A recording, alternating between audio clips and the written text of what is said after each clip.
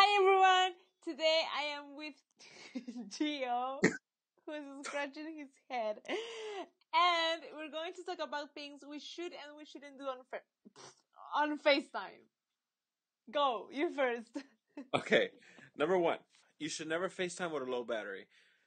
The last thing I ever want is when I'm FaceTime with my girlfriends for her phone to die, which happens a lot. I don't want her phone to die. Always charge your phone before FaceTime and have a full battery or have it plugged in. It's just common practice. It's nice. It's not. Uh, anyways, that's everything. You have to say that I have improved though. However, yeah, she has improved in, in a few months, uh, a few weeks.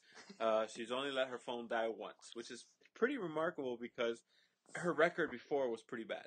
It would die at least like twice a day. And I'm not even joking. That's true. While FaceTime. yeah. Sorry. Yeah. Number two, you should mute yourself before screaming because nobody wants to blow their ears out. There you go. Number three, never check your text while you're on FaceTime. It's just rude. Huh? Yes, it's true.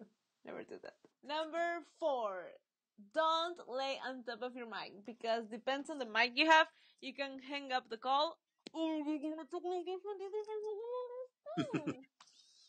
Number five, never have conversations with other people. If another person walks into the room, excuse yourself before talking to them. It's just, it's just polite. Number six, you should not pause or close the app without warning. That's it. Number seven, don't breathe hard on your mic. Yeah. Number eight, don't randomly hang up on your significant other no matter how upset you are. I think that's for me. yeah, Definitely. Number uh, nine, never answer a FaceTime call unless you're truly ready to answer the FaceTime call. Nobody wants a busy person on the other line when, when you're talking to a significant other or when you pick up the phone. It's just, it's just common practice or it's just better to answer the phone call when you're ready to talk to them instead of having to make that other person wait when you answer the phone call. hmm Especially because Okay. the other person cannot be part of the conversation. It's gonna be like this. Waiting, waiting, waiting. And number 10, you should record your FaceTime calls because it's very nice to keep that moment forever. It's like taking pictures in person, but because you're far away, you can record it and watch them later. That's the list we have so far. Comment below if you think we missed something. And don't forget to like it if you enjoyed and subscribe.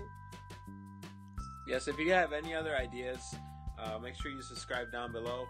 Let us know in the comments of what uh, what you guys have experienced in FaceTime that you didn't like. Maybe something that's happened to us and we didn't think about. Just comment below and uh, maybe we'll do a part two with uh, your suggestions. Yes. Make sure you subscribe because we're gonna upload videos every week.